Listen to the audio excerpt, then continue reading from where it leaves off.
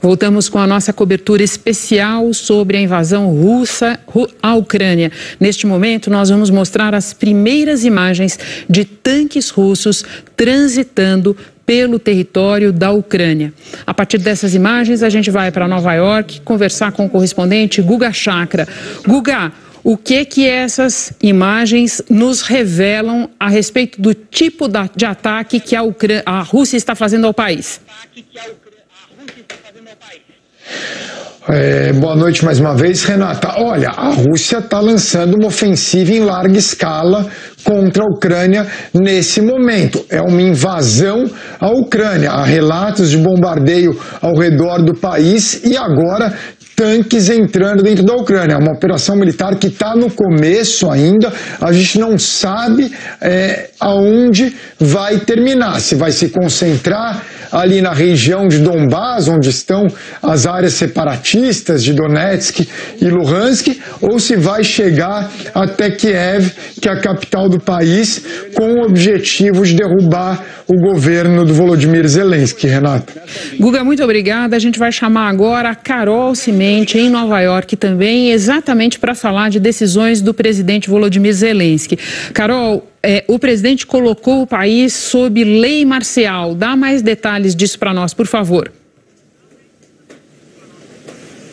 Pois é, já mostra a gravidade do que está acontecendo e já é bastante óbvio, só vendo as imagens dos tanques russos cruzando a fronteira, agora também em Belarus, quer dizer, no norte da Ucrânia. Os, os militares russos estão realmente entrando no país por todos os lados em que estavam cercando o país e confirmando o que o ministro para as Relações Exteriores já disse mais cedo, que essa é uma invasão completa, não é somente o que o Ministério da Defesa russo disse mais cedo que seria simplesmente um ataque com armas cirúrgicas ou armas de alta precisão contra armamentos e contra bases militares. Então, contradizendo aí o que os russos disseram. Agora, o presidente ucraniano Volodymyr Zelensky fez um, um conversou com a população, basicamente pediu calma, pediu que as pessoas fiquem em casa o máximo possível, evitem sair, implementou, como você disse, Renata, a lei marcial, que é quando a autoridade militar toma o controle da administração e principalmente da justiça de um país.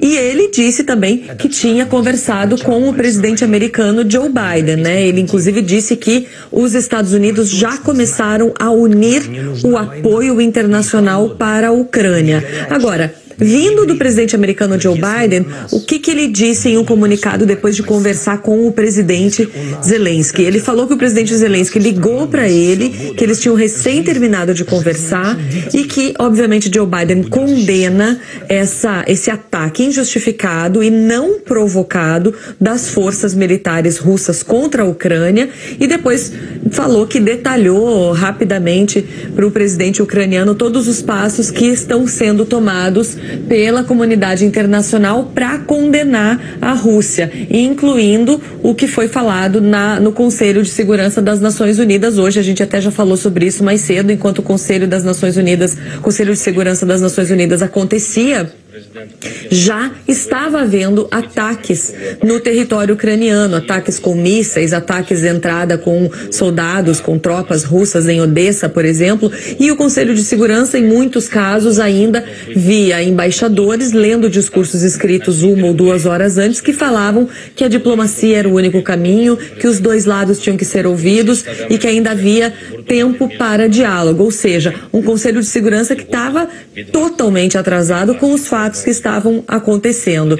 Como eu disse, se, se, uh, pelas imagens que a gente vê dos tanques entrando, tanto pelo norte da Ucrânia, Belarus, quanto pelo sul, pelo leste da Ucrânia principalmente, a gente vê que se trata de uma invasão completa da, das, das, dos soldados russos e confirmando então o que o Ministério da o, o ministro do Interior e o ministro para as Relações Exteriores da Rússia da Ucrânia já tinham dito que é uma invasão e não simplesmente ataques cirúrgicos sobre pontos militares da Ucrânia. Carol, e você mencionou ataques via Belarus. Boa hora para a gente lembrar que a Belarus é um país ao norte da Ucrânia, fortemente aliado da Rússia e que possivelmente está envolvido nessa operação. Muito obrigada, Carol. Agora a gente vai para Lisboa, vamos chamar o correspondente Leonardo Monteiro. Ele tem novidades para nós também. Léo, primeiras horas da manhã aí na Europa e nós já tivemos repercussões do premier britânico Boris Johnson e da presidente da Comissão Europeia, Ursula von der Leyen.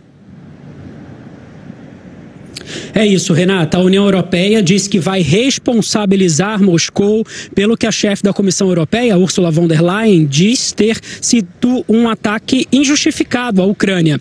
Nessas horas sombrias, nossos pensamentos estão com a Ucrânia, com os homens, mulheres e crianças inocentes enquanto enfrentam esse ataque não justificado e temem por suas vidas, afirmou a von der Leyen pela rede social Twitter. Vamos responsabilizar o Kremlin, acrescentou ela.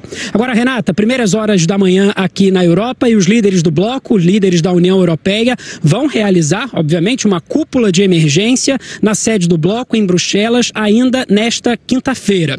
O Boris Johnson primeiro-ministro do Reino Unido também já reagiu a esse ataque, disse também numa rede social que está chocado com os terríveis acontecimentos na Ucrânia, que já falou com o presidente Volodymyr Zelensky para discutir os próximos passos. Segundo Boris Johnson, o presidente Putin escolheu um caminho de derramamento de sangue e destruição ao lançar este ataque não justificado à Ucrânia.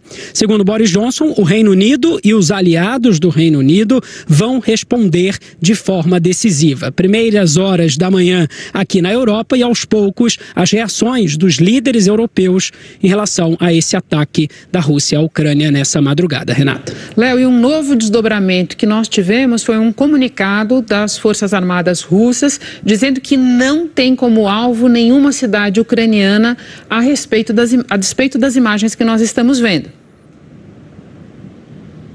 Pois é, é um comunicado que chega agora. Os militares russos divulgaram né, essa nota agora há pouco, alegando que não tinham como alvo cidades ucranianas, enquanto equipes de jornalistas e outros moradores relatam explosões em todo o país. Segundo a nota, Renata, as Forças Armadas russas não estão lançando mísseis ou ataques de artilharia nas cidades da Ucrânia.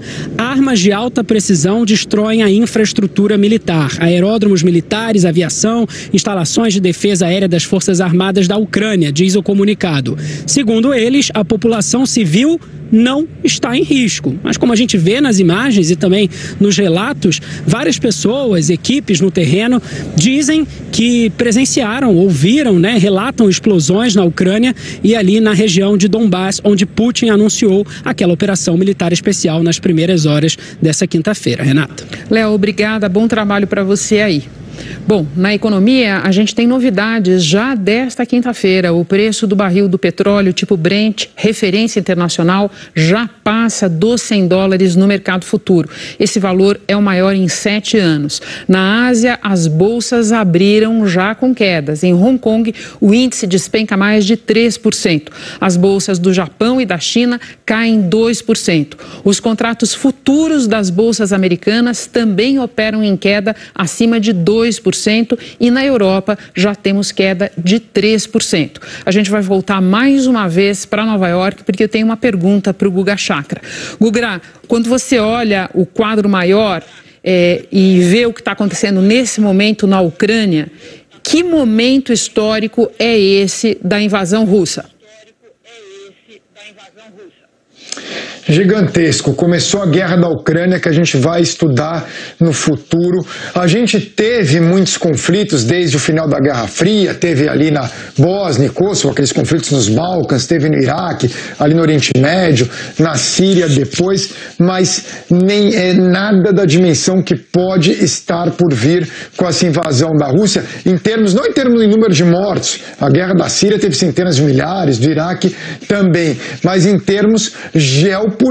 É a grande mudança desde a Guerra Fria. O Putin está tentando alterar é, as regras que foram adotadas depois é, do encerramento do conflito entre Estados Unidos e União Soviética. Ele está tentando recolocar a Rússia como uma superpotência no momento que a China também emerge como uma superpotência. Os dois países se aproximam nesse momento e a gente vê dessa vez um Ocidente frágil que não tem como reagir além das sanções que já foram impostas algumas e que serão impostas amanhã. Então, é uma grande mudança geopolítica que a gente começa a observar. Observar, além, claro, de todo o efeito de uma guerra, a Ucrânia correndo risco de se tornar o Líbano dos anos 80, é, a Bósnia dos 90, o Iraque dos 2000 e a Síria da década passada. Guga, muito obrigada por todas as informações. E você terá novas informações a qualquer momento na nossa programação e no Hora 1.